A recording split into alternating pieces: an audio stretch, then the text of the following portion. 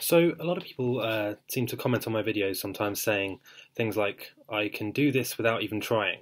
Okay, and I just wanted to make this video to explain uh, a bit about why some people are able to lucid dream naturally, okay, without trying, uh, as they sort of claim, and why some people find it more difficult. Uh, and it's it's two things. Number one, it's like luck and whether you have tried it before, and number two is down to your level of self awareness. Now, the first one is kind of it's kind of a a random thing, you know. Some people just happen to be good at certain things naturally, or better than most people. Okay, so you know some people are more able to put on muscle when they work out at the gym, and other people find it more difficult, and they need to have like a very rigorous routine, and they have to really stick to their their, their exercises and, and what they put into their body and and what they eat and that sort of thing. It's just one of those things. It's easy for some people and slightly less easy for others. So those of you commenting saying I can do this naturally, I don't need to try, that's great, uh, and that's really that's really good. You know, you don't need to uh, worry about that. It's not like it's a problem. It's certainly not a bad thing.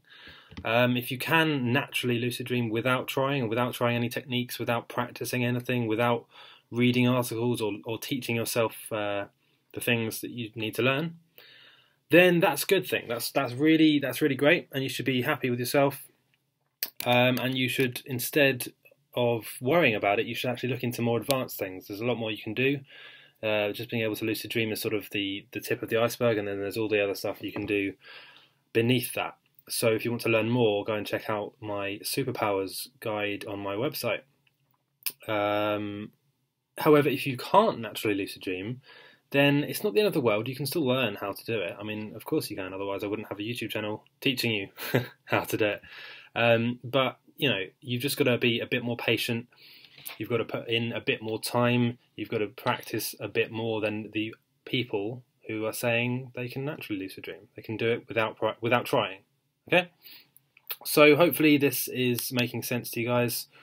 Um, if you let me know if you are one or the other. Do you find it easy? Do you need to practice, or do you find that you know you can't lucid dream, or you've been trying for a while and it's really not happening for you? Okay, uh, I really want to help you guys. I want to know exactly why you know you can't lucid dream or what you're struggling with. Maybe you've tried other things, you've followed my videos, and you just it's not happening for you for whatever reason. Okay, I want to know. So leave a comment in this video, and I'll try and get back to them in my next video. To those of you who are coming from my um, recent video, uh, Inducing a Lucid Dream in 9 Seconds, um, there's a lot of new subscribers coming from that video. Welcome.